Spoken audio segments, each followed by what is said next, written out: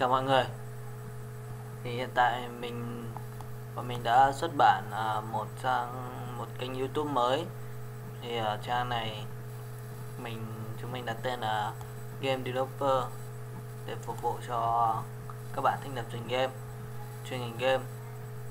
Um, kênh channel này thì mình chủ yếu post các bài uh, liên quan đến lập trình game hướng dẫn các bạn tỉ mỉ một cách lập trình game à, như nào? Ví dụ ở đây mình đang xây dựng một cái series là game làm game cờ vua 3D um, ngoài và công cụ chính thường công cụ chính mình sẽ cố gắng để cover hết tất cả các công cụ gồm có Unity và Cocode là hai công cụ chính ở đây.